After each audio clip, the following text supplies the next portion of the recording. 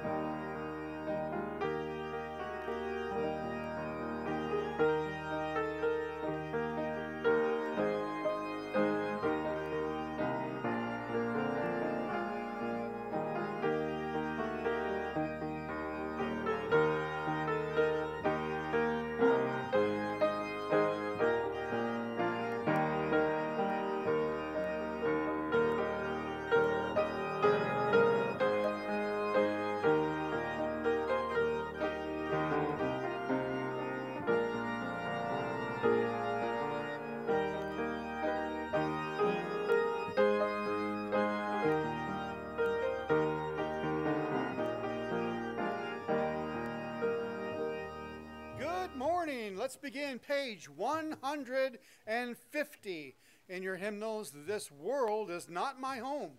Page 150. Let's all stand, shall we? Page 150. This world is not my home. I'm just a passing through. My treasures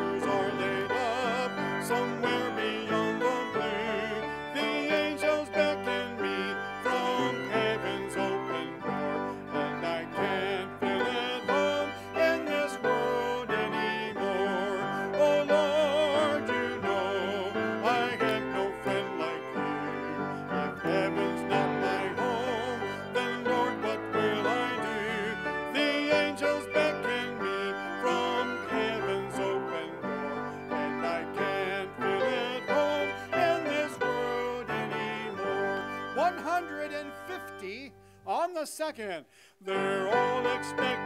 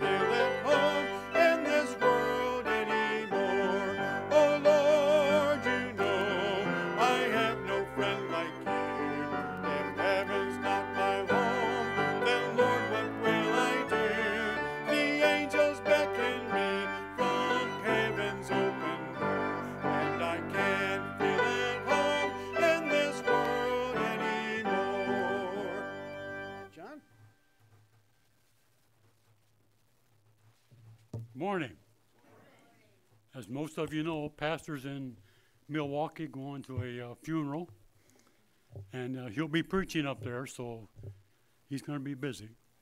But he will enjoy it, seeing friends, hadn't seen a lot of years. So, uh, but pray for him as has a great time up there, and then for safety as he travels home. Let's begin in prayer. Lord, we're grateful for this opportunity to be in your house once again. Lord, as we look into your word this morning, may it be the blessing that you intended it to be. We may profit from having made the effort to be here. Watch over us, meet our needs, and help us be faithful. And we'll praise you in Jesus' name. Amen. You may be seated.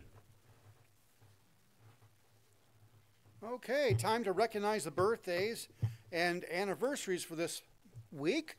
Birthdays Rod Lowry, Ben Ritter, Justin Fish all have birthdays this week. Anyone else have a birthday? Okay, when you see them, wish them a happy birthday. Anniversaries Stephen and Christy Ruley have an anniversary this week. Anyone else have an anniversary? Okay, next song, page 144 page 144. What a day that will be!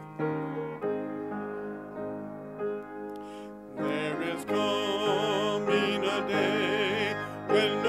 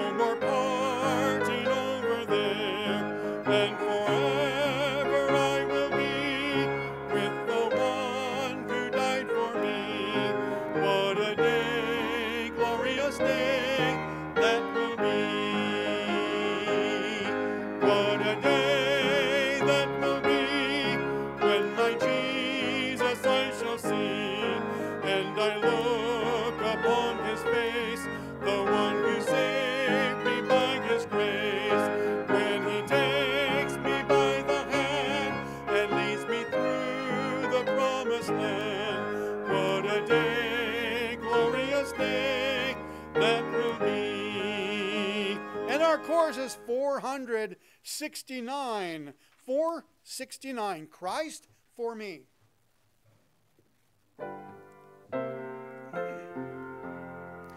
Christ for me. Yes, it's Christ for me. He's my Savior, my Lord and King. I'm so happy I shout and sing. Christ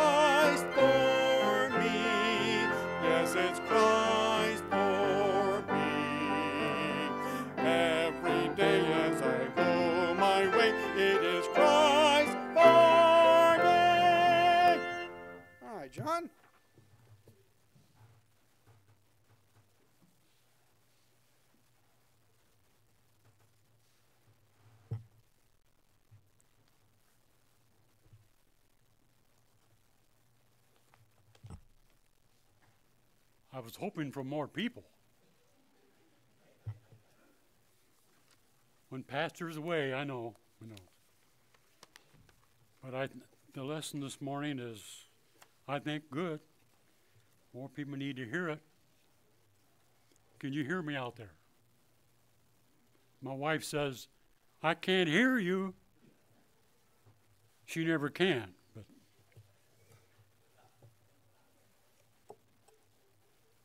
I'm going to talk this morning about uh, being blessed or God's blessings.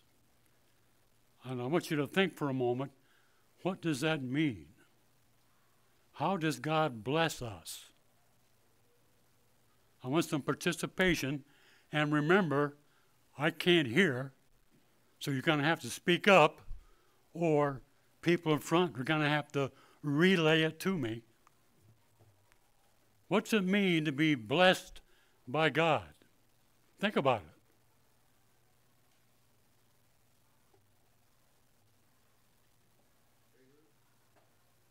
What? Favor. Favor, yeah. For sure. Grace. What was that? Grace. Grace. That's what's one of his favors, or one, one of his blessings, yes. If you, okay, Ron? Salvation. That's a big blessing, isn't it? Joe? Protection for our way as we go. Okay. He does that. Provision. Need, meets our needs, doesn't he? Kevin? Okay.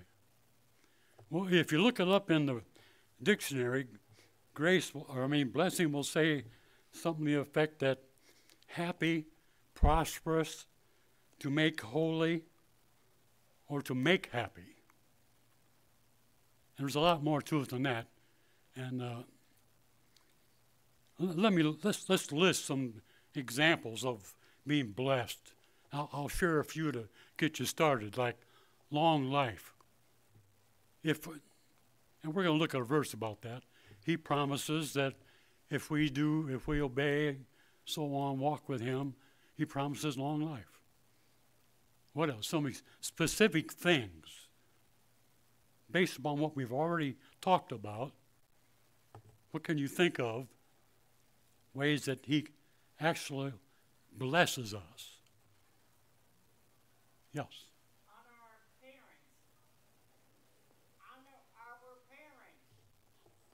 Well, I don't know if that's a blessing, but that's a command, yes. What I'm looking for is something like health, happiness, a saved family. It's a major blessing.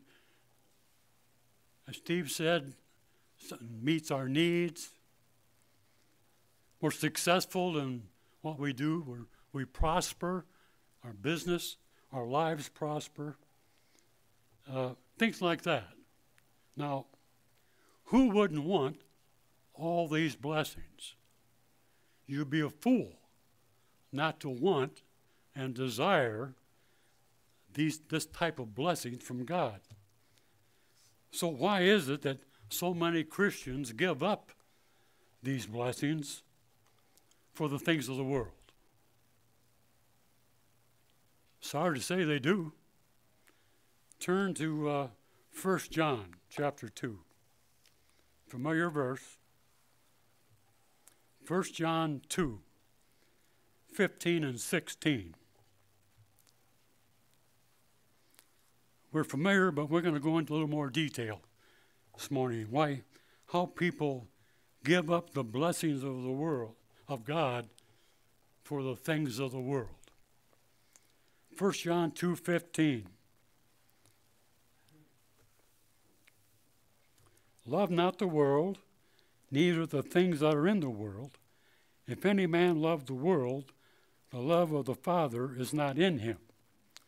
All that is in the world, the lust of the flesh, the lust of the eyes, and the pride of life, is not of the Father, but is of the world. I want to look at verse 16. We, we know about lust of the flesh, lust of the eyes, familiar, but we don't go into what do we mean by lust of the flesh? Lust, you can define lust like it's an excessive sinful desire. Is a lust. Now, lust of the flesh, what would that be? Has to do with the flesh, bodily. We normally think of lust as lust of uh, for sex. That's a, that's a major one in this day and age. And along with that, goes uh, homosexuality, adultery, fornication. Then we get into who would have thought 20 years ago we'd be wrestling with transgender issues and all the garbage that's going on today. That's of the world. That's the flesh, lust of the flesh. Our world is full of it. You can't get away from it. TV, movies, magazines, advertisements, it's all attractive, scantily clad woman in the picture or whatever. Now, lust of the eyes. That has to go with the, the eye gate. What we see. We see so and so has a beautiful car. You, you want that car. You got to do whatever it takes to get that car, that house, that dress, that whatever we see. And that goes along with sex. If a man sees a beautiful, attractive woman, he'll lust after her with his eyes, that leads to lust of the flesh. And as you know, Jesus says, if you think about it, it's the same as having done it in your heart. So you can see how the world is so hard on Christians. Now, along these same lines, the uh, the way we dress. Christians should dress differently. And this, I'm talking mainly about the ladies now. The ladies don't have the problem with the eye gate and lust that men do. We all know that. But a lady, a Christian lady, should not wear things that are too low, too high, too tight, or show too much skin. If we do, or if you do, or they do, you cause another, you may cause another person to lust after you. And if you do do that, that's your sin as well as his sin. Think about that. A lady should look dressed differently. The world should know by a lady's dress that she's not worldly. And the man has to have the final say. He should say to his wife, you know, you shouldn't wear that. That's too tight, that's that's too whatever. And if the man thinks, well, I'm not sure if that's good or not. If you're in doubt, don't let her wear it. If in doubt, be conservative. Make sure your daughter, your wife, dresses like a Christian would dress. Not would not cause another to lust after her. You are the husband is responsible. I know this causes many battles in the home with the wife. If you've got teenage girls, I know that's a struggle. It's a battle. The society tends to want and desire and show more skin, too tight, too low, too high. But the husband, the father, has to stand up and say, No, we're not going to dress like that. We're going to be conservative. We're going to dress like a Christian. That isn't done in very many homes. And I know it, it's a struggle, it's a battle. But a lot of Christians fall to the temptations of the world. And it's so easy because the world is so bad now that we can't get away from it, can't stay away from it. And we didn't touch on then the, the uh, pride of life. That's, that's an easy one. We all suffer from pride. I've taught on pride before. We all have pride, some more than others. Pride's like, and, and there's nothing wrong with some pride. You like you're proud of your family. You're proud that you're good at your job or whatever. but you get excessive. Remember the definition of lust? Excessive pride. That's what he's, he's concerned about. So, uh, worldliness can also be called materialism. And that has goes back to the lust of the eyes, the things we see, we lust after. Things, cars, boats, guns. The list is endless. Things that we see that we have an excessive, sinful desire for. And uh, worldliness affects Christians in another way. Look at uh, Psalm 66 18. Let, let me just quote it for you, if I can remember what it is. You won't have to look it up. If I regard iniquity in my heart, the Lord will not hear me. If you're guilty of any of these worldliness sins, flesh, eyes, and pride, then that's going to hinder your prayer life. If you have that in your heart, God can hear your prayers. And wherever we be without answers to prayer.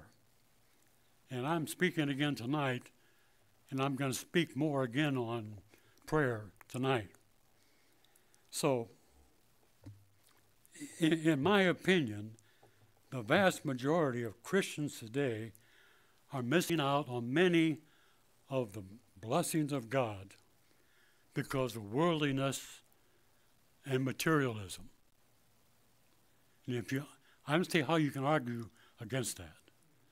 All of us struggle against it. Now, things like money, entertainment, uh, lust in all its forms, influence, all that, on and on and on. Now, old people. I am officially an old people. We have several of us fall in that category in the room. Now, there are advantages to being old, besides discounts, parking places, things like that. We are not affected by the sins of the world as much as you younger people. Not, we're not immune by any means, but we're not affected as badly as often. It's not the struggle for us, it, it is for you younger people. Our kids are gone.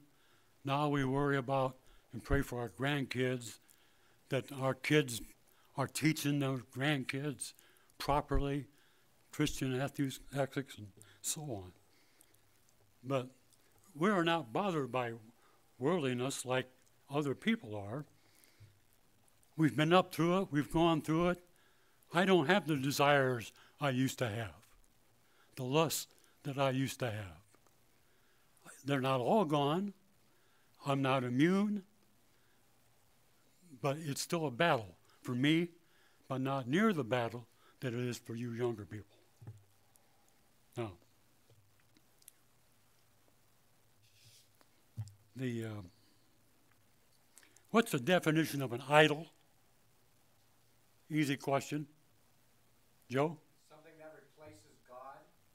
Something you put ahead of God. Anything that you place ahead of God is an idol. And what happened to the Jews in Bible times when they started worshiping idols, and started worshiping God? What happened? You got to know your Old Testament. God lowered the boom. He withdrew his blessings. They were they lost battles. They were taken into captivity. On and on and on.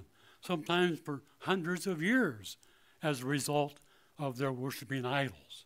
Well, this country, our country, is full of idols.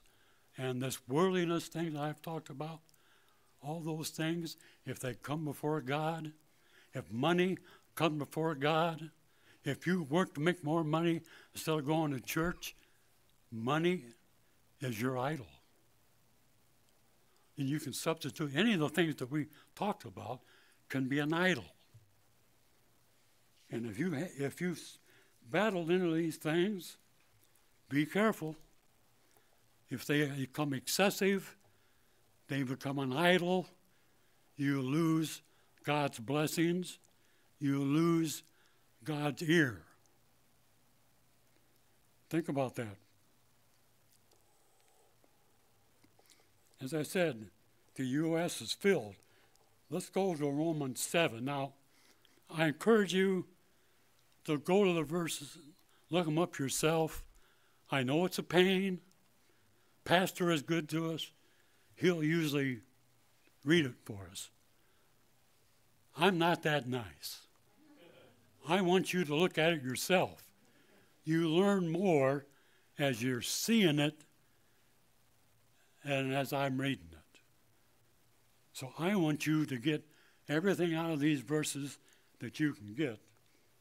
Excuse me a second.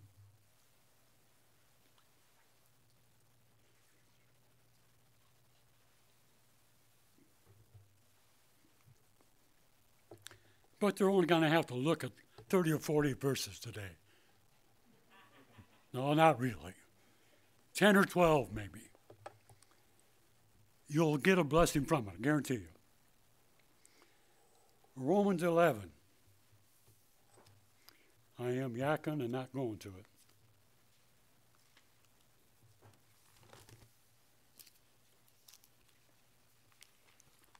Eleven, seven, and eight.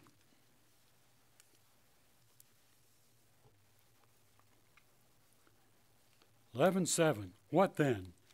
Israel hath not obtained that which he seeketh for, but the election hath obtained it, and the rest were blinded. According as it is written, God hath given them the spirit of slumber, eyes that they should not see, and ears that they should not hear, unto this day. I think, personally, God has blinded this country, the United States of America, because we have turned our back on God. Our country is full of idols. Sodom and Gomorrah can't have been as bad as this country. It, it's, it's pitiful. And I, I, I think he is blinded, he's removed his blessings. How, how else could somebody like Obama and Biden get elected if God hasn't blinded the eyes of this people, the people in this country. We're getting what we deserve because we've allowed all these things to happen, and we are given in to all these things and things of the world, time after time after time, and now we're paying the price. God, we've lost God's blessing on our nation, and a lot of Christian families have lost God's blessing on their families and, and those individuals. Now, so what does the Bible say about how to be blessed? It has a lot to say. A lot. You'll notice that many of the promised blessings that we're going to look at are conditions, conditional promises and I've taught on this before. What is a conditional promise? Don't be bashful. Shame. I know you know. Conditional promise is a promise God makes on a condition we do certain things. God says, if you do this, I will do this. And many of these blessings are conditional, as you're going to see. If we do this, follow his instructions, then he will fulfill the promise. Now, I want you to think about something else. If God loved you and I enough to send his son to die for us, to suffer and die. then He also must love us enough to want to give us all kinds of blessings.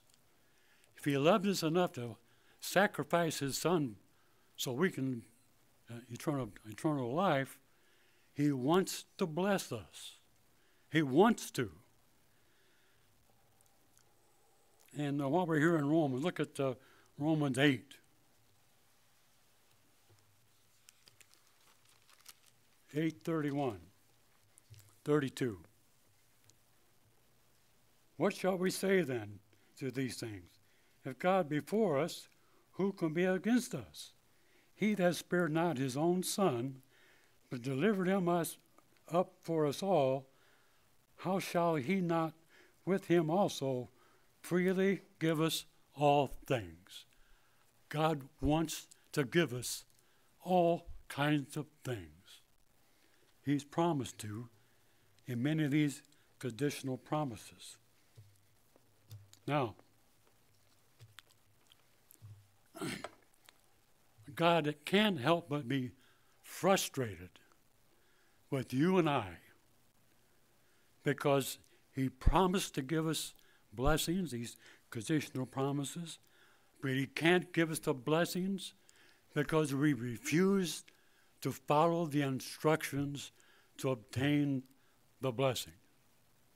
You follow what I'm saying? He tells us what to do, and we don't do it. We won't do it. We'd rather follow the things of the world than follow the things of God and thereby lose the blessing. That doesn't make any sense to me. Now, he cannot bless sin. Look, look at 1 John.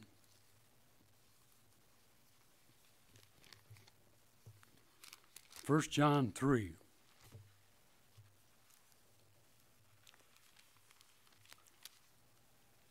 Twenty-two. First John 3, 22. And whatsoever we ask, we receive of him, because we keep his commandments and do those things which are pleasing in his sight. Now, condition. What's the condition? It's right there. What is it? Keeping his commandments. Commandments are God's word. Obeying, trying to obey and do what God tells us to do gets us blessings. He promised it. God can't break a promise. You and I break promises right and left. God cannot. If we do our part, He's honor bound to grant that blessing, the conditional blessing that He's promised. How to be blessed. Matthew 6.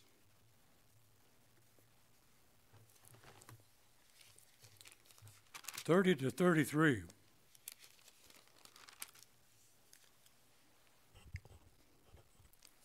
Matthew six thirty. Wherefore, if God so clothe the grass of the field, which today is, and tomorrow is cast into the oven, shall he not much more clothe you, O ye of little faith? Therefore, take no thought, saying, What shall we eat, or what shall we drink, or wherewithal shall we be clothed? For after all these things do the Gentiles seek. For your heavenly Father knoweth that ye have need of all these things. But seek ye first the kingdom of God and his righteousness, and all these things shall be added unto you. What's the promise there in 33?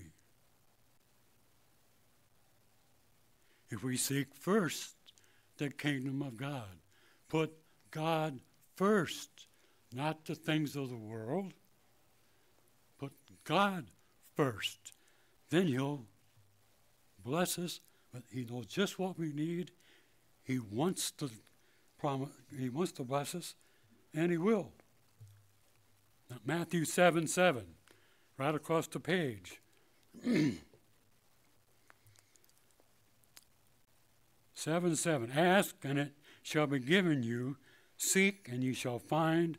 Knock and it shall be opened unto you. Got to ask, seek, knock, But there's more involved. We're going to talk about that a little later. But again, that's another condition.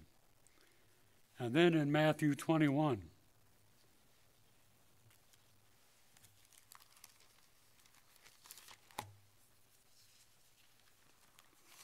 Twenty-one, twenty-two. If you're not looking these up, at least write them down. All these things whatsoever ye shall ask in prayer, believing, ye shall receive. But what the condition there? When you ask for something, believe that God is willing and able to do it. We're going to talk about more about this a little later too. Now, we're going to look at several Old Testament promises. But just because they're in the Old Testament doesn't mean they don't apply to you and I. They do. They're the Word of God. Uh, Deuteronomy 4.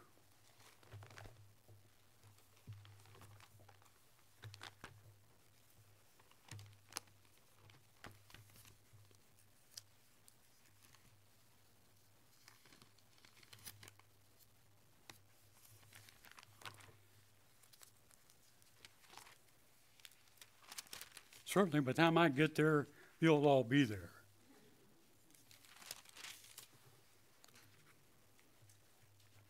Four forty.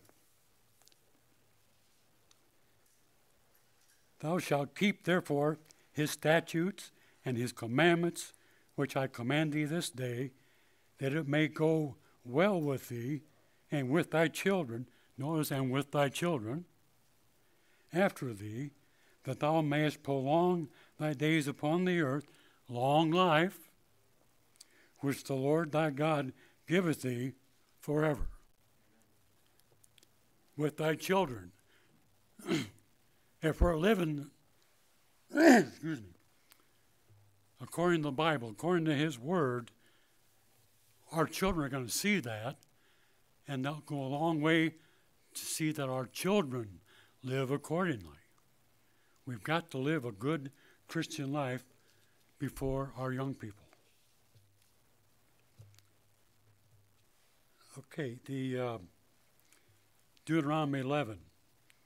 I made it easy, try to keep them similar books so you don't have to flip so far. 11, 26 to 28. Behold, I set before you this, this day a blessing and a curse. A blessing if, notice the if, I have if circled, if ye obey the commandments of the Lord your God, which I command you this day, and a curse if ye will not obey the commandments of the Lord your God, but turn aside out of the way which I command you this day, to go after other gods, idols, which ye have not known. A promised blessing and a promised curse if we go after these idols. And this country is now under the curse, in my view. In Deuteronomy 28.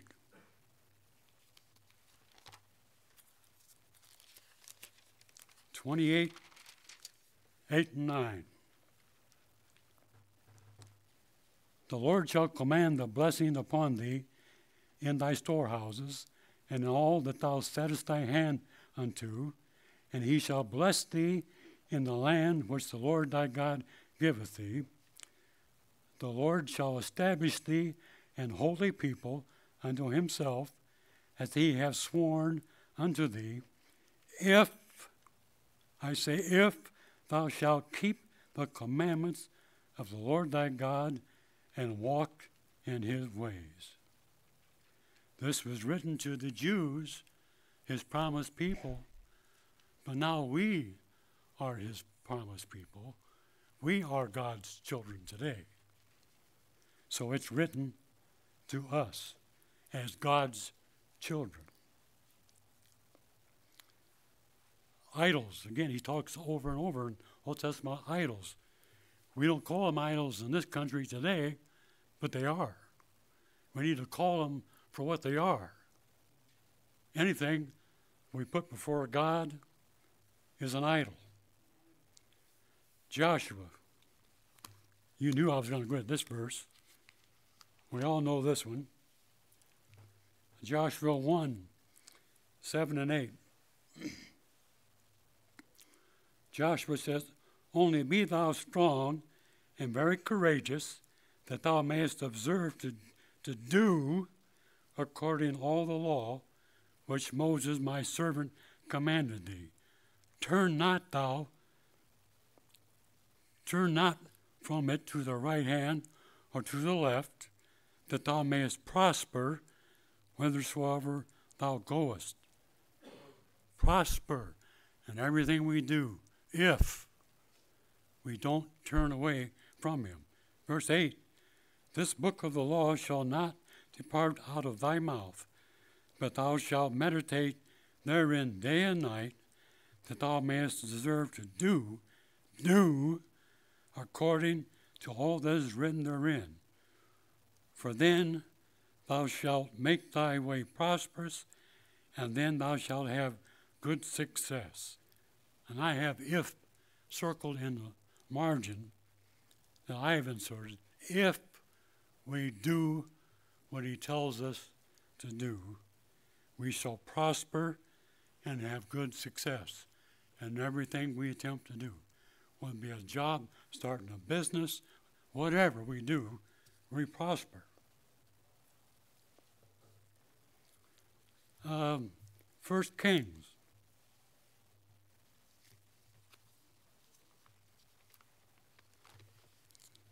First Kings 2.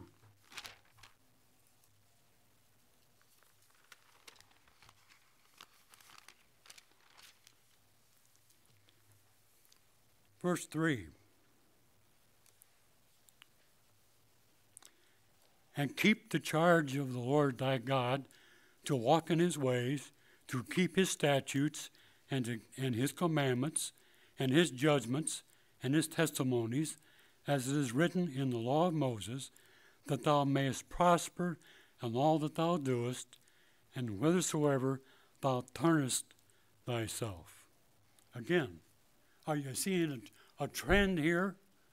What's the trend that he's telling us, showing us here to be blessed? Keep his commandments. Keep his simple enough, but we don't do it. 1 Kings 9.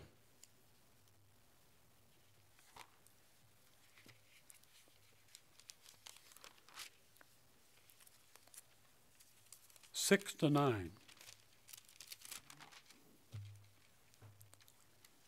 See if this doesn't describe the United States of America. Verse 6 But if ye shall at all turn from following me, ye or your children, and will not keep my commandments and my statutes, which I have set before you, but go and serve other gods and worship them, then will I cut off Israel or the United States out of the land which I have given them, and this house which I have hallowed for my name will I cast out of my sight, and Israel shall be a proverb and a byword among all people. And at this house which is nigh, every one that passeth by it, talking about the United States now, every one that looks at the United States go by it shall be astonished and shall hiss, and they shall say, Why hath God done this unto this land and to this house? And they shall answer, Because they forsook the Lord their God, who brought forth their fathers out of the land of Egypt, and have taken hold upon other gods, and have worshipped them, and have served them. Therefore hath the Lord brought them all this evil. Why does this, does this country have all the issues and problems we have? Right there it is. This country's turned their back on God. God has turned his back on us. He has blinded our eyes.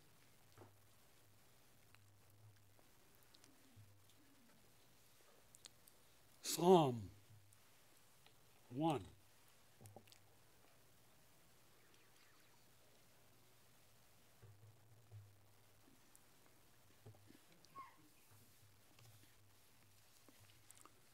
Psalm 1, 1 to 3.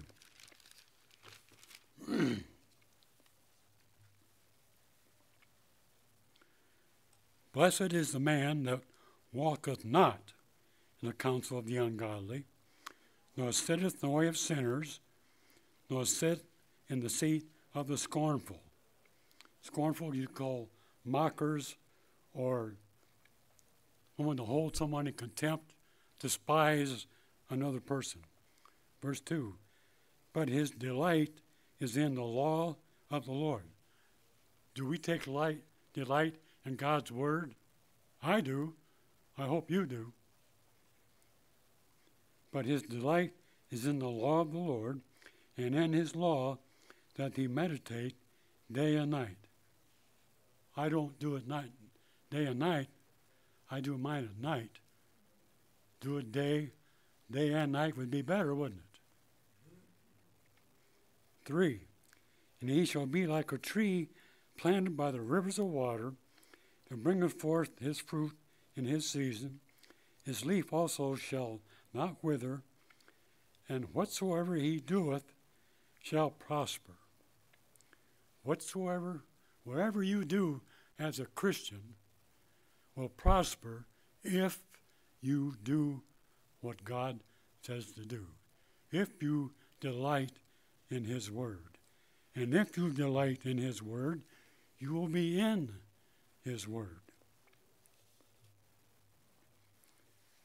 Uh, I can't help but say something about this.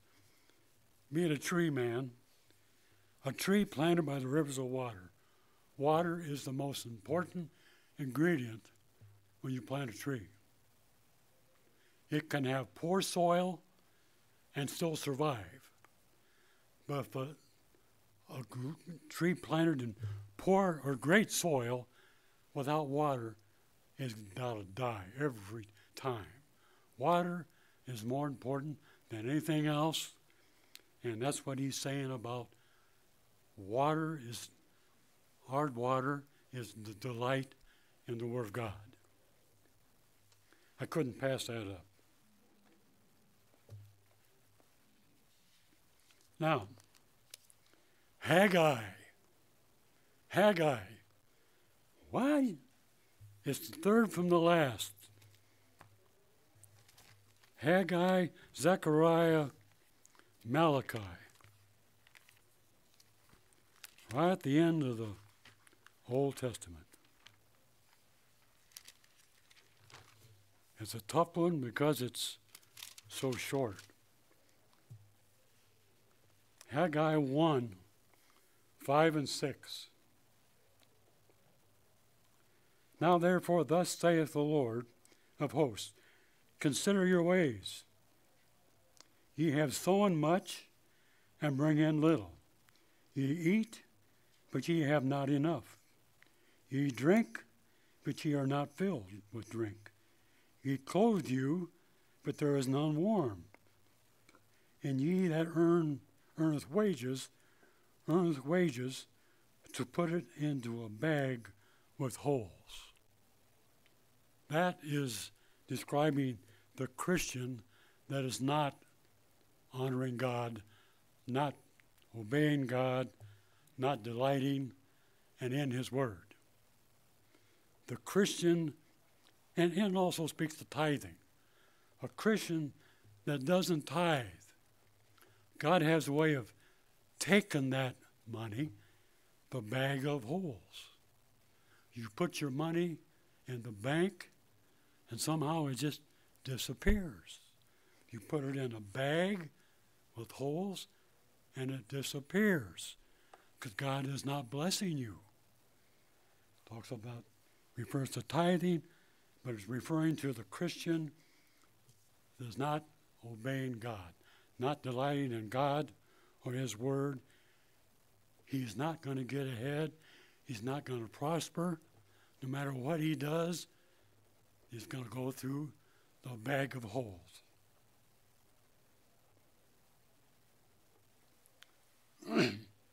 now, back to 1 John, chapter 5 this time. Some of you knew this was coming, I'm sure.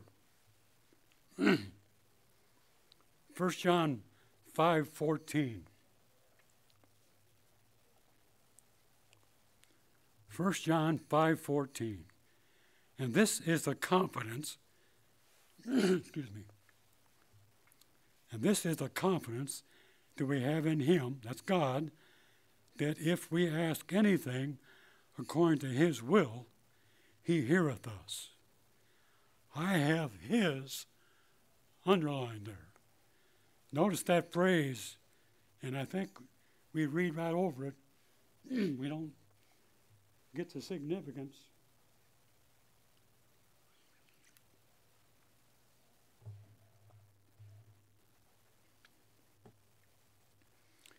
What we ask for when we pray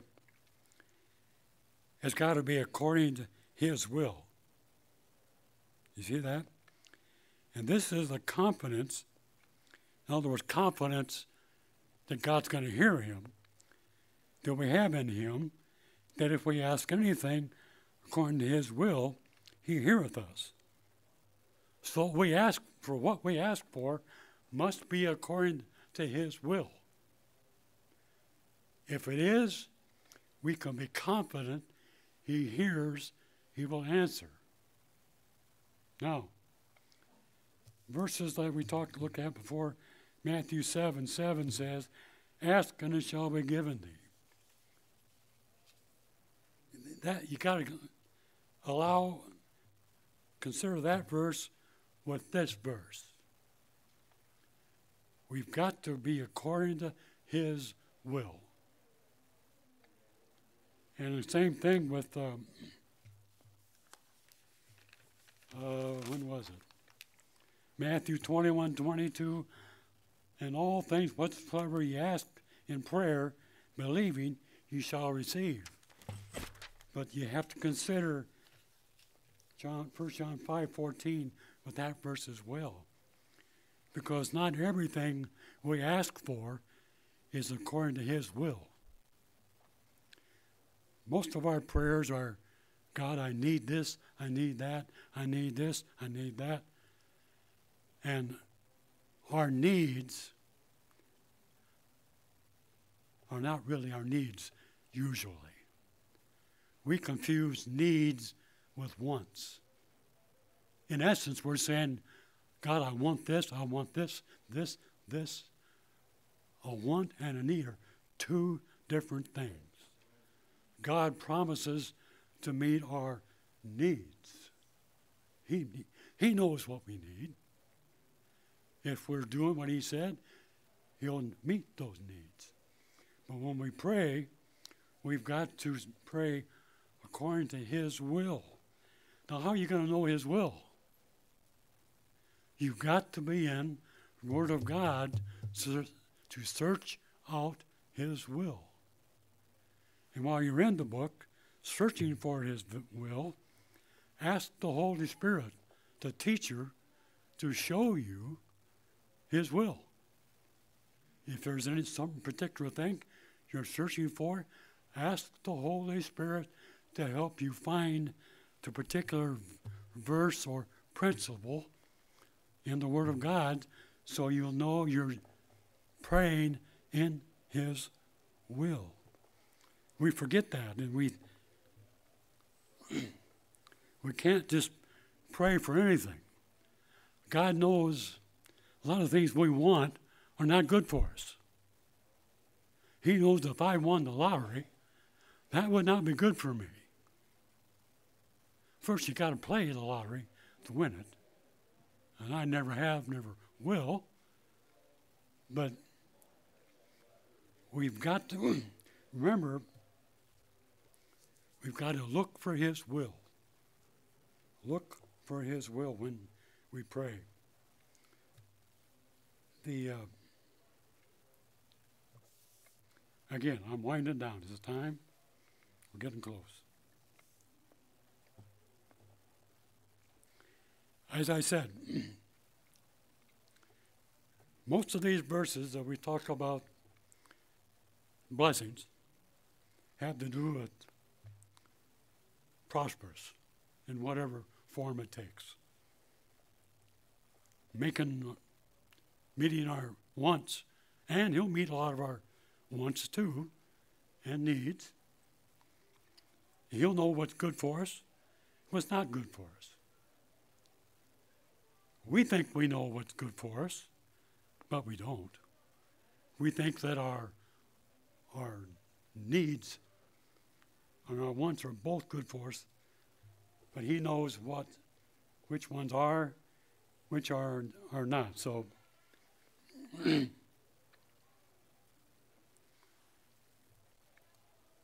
want to close with this. Count on it when you pray